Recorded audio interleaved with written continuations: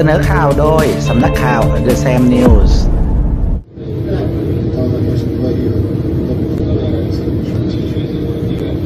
เป็นที่ฮือฮากันไปพักใหญ่เมื่อมีวิดีโอที่โพสต์โดยกองทัพของยูเครน แสดงให้เห็นถึงการใช้โดรนสั่งการระยะไกล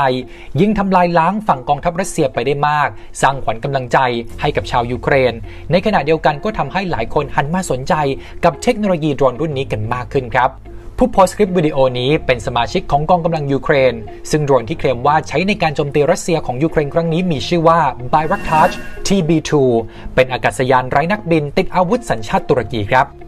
โดรนรุ่นนี้ถือเป็นโดรนที่กองทัพมักใช้ปฏิบัติการขั้นสูง เช่น ใช้ในการลอบสังหาร และถือเป็นโดรนที่ได้รับการยอมรับจากกองทัพหลายประเทศนำไปใช้ปฏิบัติการในประเทศอิรัก และการทำสงครามกลางเมืองของประเทศซีเรียมาแล้วครับ ตัวโดรนมีการออกแบบในลักษณะเป็นหางผีเสื้อ ใช้เครื่องยนต์ขับเคลื่อนแบบสันดาบ ตัวโดรนนั้นใช้ใยคาร์บอนเป็นวัสดุหลักครับ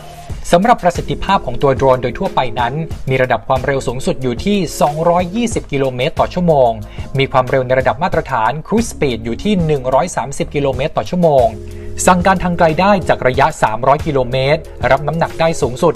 150 กิโลเมตร และสามารถใช้งานได้นานมากถึง 27 ชั่วโมงด้วยกันครับ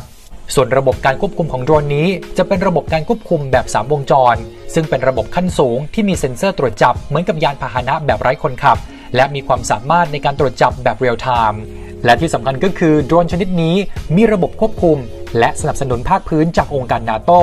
ผู้ควบคุมโดรนชนิดนี้จะมีอยู่ 3 คนด้วยกัน ก็คือฝ่ายนักบิน ฝ่ายผู้ส่งข้อมูล และฝ่ายบัญชาการด้านภารกิจ โดยประสิทธิภาพดังนี้เอง กองทัพต่างๆ จึงเริ่มหันมาใช้โดรนในการรบมากขึ้น เนื่องจากว่าเป็นเพชฌฆาตสังหารที่แม่นยำ และสามารถสั่งการได้ทางไกล